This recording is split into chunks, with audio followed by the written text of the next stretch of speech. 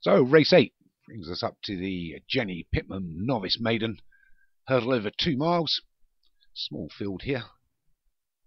Runners are Fascination for Joshua Sutherland, Kinvara Windmill for Martin Leedham, Midnight Express for Jim Murray, Egyptian Soul for Hems, Mandolin Natter for James Shea, Sean Sessa for Paul Rhodes, and number seven is Witch's Eyes for Leon van Rensburg.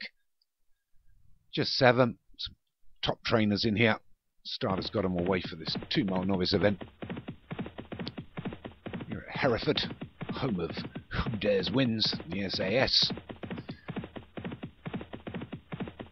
I can tell you a story about the SAS. I was just reading about their disaster in Africa when they tried to go and bump off old Rommel.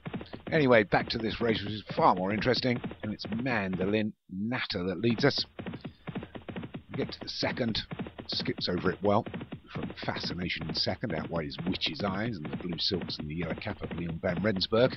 Up against the fence is Jim Murray's Black and Red Silks with Midnight Express, now followed through by Sean Sessers for Paul Rhodes, Egyptian Soul for Hems, and Kinvara Windmill for Martin Leedham towards the rear. But we're still being led by Mandolin Natter as they get to the third. They will skip over that. Nice jump there by Midnight Express. Almost single file here. But there's uh, Probably only seven lengths from first to last as they go past the winning post in the grandstand with circuit to go and a mile and a half to travel. And a further seven flights to take of this novice event. But it's Mandolin Natter from Midnight Express. Taking a little hold.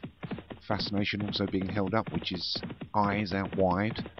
Two towards us here are Shan Sess and an Egyptian Soul. Similar green silks, yellow caps. Green silks for the yellow hoop. Green silks with the yellow sleeves. Moving out wide towards the rear is Kinvara Windmill. Martin Leedham as they take the fourth.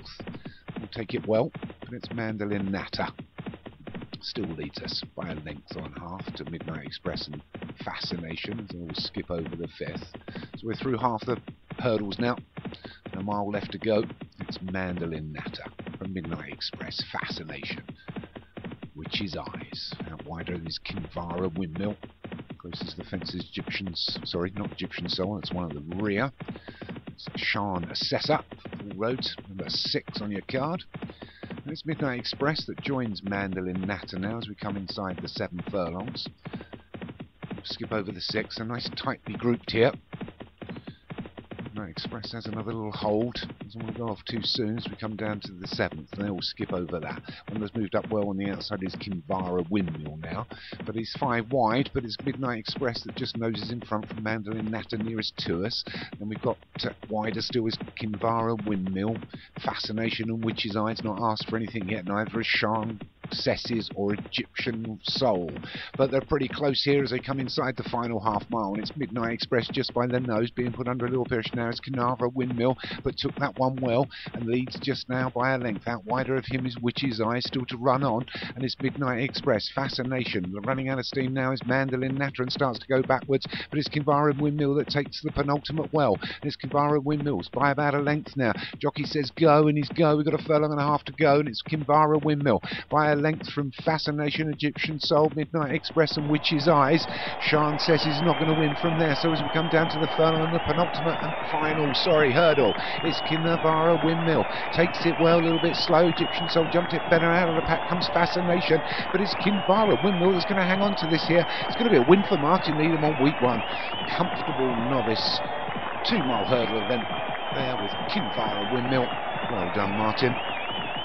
Fascination for Joshua Sutherland got up for second. might be wrong. No, it was Hems, Egyptian Soul, Witch's Eyes for Leon Van Rensburg, and Fascination Joshua Sutherland. Fought out third and fourth, and Midnight Express for Jim Murray came in at fifth.